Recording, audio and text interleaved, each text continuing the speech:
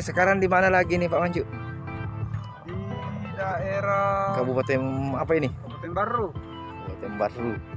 Baru daerah Baru Ya lagi jalan-jalan bersama tim CWS sana lokasinya Bandi Sopeng. Ya, di mana Pak Mancu? lokasi di sana ada gua gua alam populasi lain Ya yang eh, dekat anu Pak Mancu ya. Yang gunung ini ada di atasnya kayu Oh oh, iya. Jadi di sana teman-teman, di sana ada gua walet ya. Ada gua walet dan suatu saat insya Allah akan kami survei di sana. Eh, bagaimana keadaan di sana, bagaimana keadaan burung waletnya eh, di di gunung tersebut. Ya ada gua di sana. Jadi kita mau pastikan di sana apakah benar-benar burung walet ataukah seriti.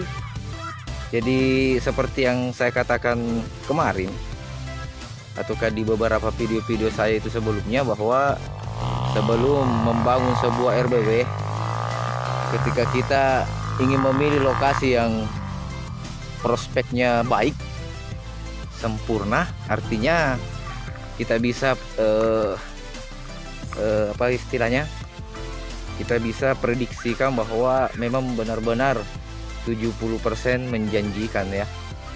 Jadi dalam eh, melakukan perencanaan sebuah RBW maka itu tentunya harus kita cek lokasinya dulu. Nah, jadi di sana di sana ada gua ya. Gua walet di sana. Jadi insya Allah itu menurut dari beberapa teman yang kemarin dari Sopeng itu di baliknya gunung ini ada eh, gua yang berisi burung walet. Tapi kita mau pastikan apakah benar-benar burung walet atau eh, seriti. Jadi apa namanya Pak Mancu yang ini gunung di belakangnya yang berisi walet sudah masuk daerah Paceke cek kayak di iya Di sini di sini ada perkajoy. perkajoy parakajoy Saya tempat mandi-mandi di sana dulu mandi. Waktu masih mondok. oh iya iya iya.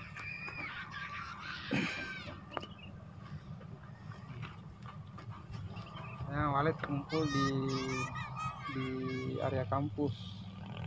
Oh jadi di sini area kampus Kampus Putra Putra di Iya. Putra Tondrong ya Sa walet banyak. Rumah walet di sana. Harus mandi. Iya.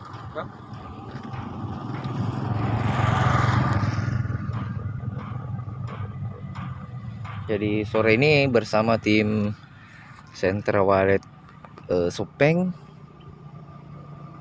uh, survei lokasi dulu.